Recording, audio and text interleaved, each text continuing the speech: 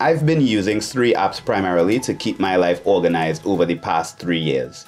They help me manage my finances, my job, my personal life, YouTube, and even my mental health from time to time.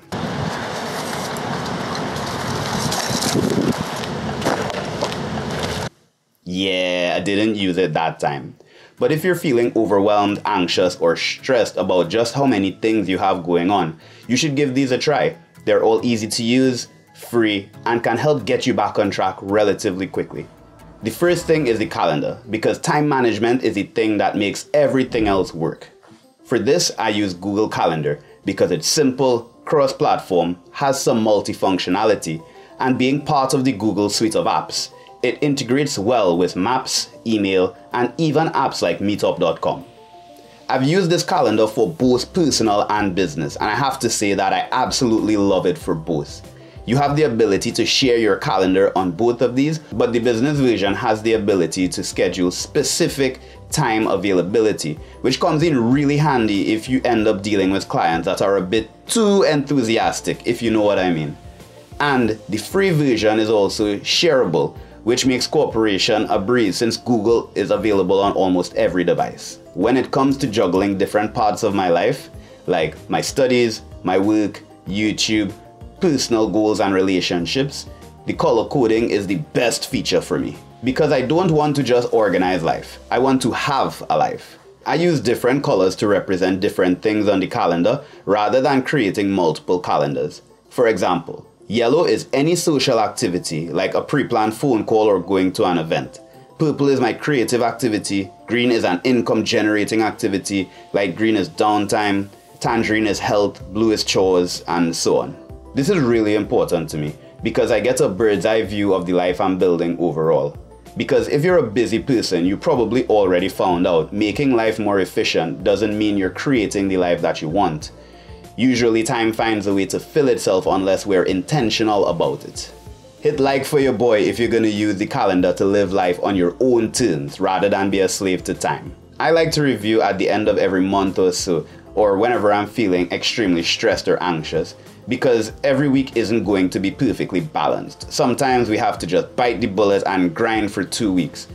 But we can get a view of where our head's at using the color coding system and rebalance after this period to find out what is it that will restore order to our lives. Maybe we can do with more personal time, maybe I can do with more relationship time, maybe I can do with more downtime. I also really love that you can basically set it and forget it with Google Calendar. You can add people, add locations for your events, descriptions, and attach files. I tend to forget things a lot since my brain is focusing on so many different tasks that if it's not immediately in front of me, it doesn't exist. And that's really good for me because I get to focus on more important things, like learning that cats can't move their jaws side to side. Google Calendar does have its shortcomings though. Like copy and pasting events still isn't a function, which makes setting up multiple events really tedious.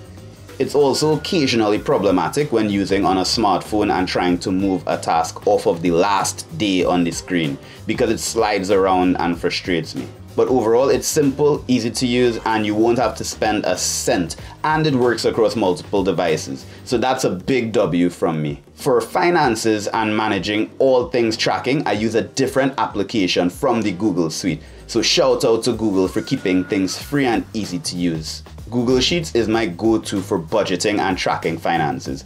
There is nothing exceptional about it, and I know there are a lot of other applications out there that you're dying to let me know, so let me know in the comments below. But it has enough for me to see, analyze, and track my finances, and it doesn't have to be more complicated than that. You can create lists, create formulas, change currencies, and automate calculations based on the formats and formulas you've entered and it also has some cool features that help you visualize your spending with the charts and graphs so I use it to get a bird's eye view of my spending habits over time. Now obviously this isn't only good for finances. You can use it for targets, progress tracking, and anything that has calculations involved, Google Sheets can get it done. Real talk, I've never seen a bear, but the amount I know about them is ridiculous. It's also available across multiple devices, but I don't use it on my smartphone really because it's just a much smaller version of what I see on my PC. so it's difficult to do anything with. I only ever really use it on my smartphone when I need to see information immediately. And even then, it's still a bit tricky. But overall, Sheets gets everything done, and if you've ever used Microsoft Excel in the past, you can be up and running within two minutes. The Final is by far my most commonly used application. I use it for everything from thought dumping, to-do list, memos, note taking, short listing, and anything writing involved. I absolutely love it. It's Google Keep. I absolutely adore this app. It's simple and it gives just enough flexibility to do everything I need. You can record voice. Hello there. Hello there. Write. Create checklists. Add photos. Color code. Pin your important notes and even reorganize them based on when you're going to use them.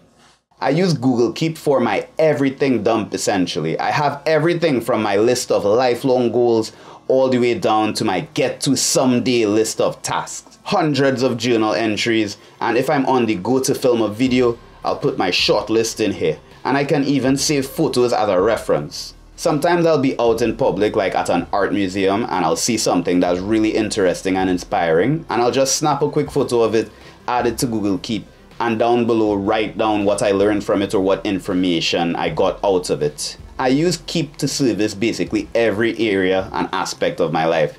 And once again, because it's a Google tool, I can use it across multiple devices and at any given time. And that's really good for me because I'm actually on my third cell phone in the last two years from just dropping them and breaking them. So being able to just re-download all of my brain back into my phone makes it super simple and I'm so grateful to be able to do that.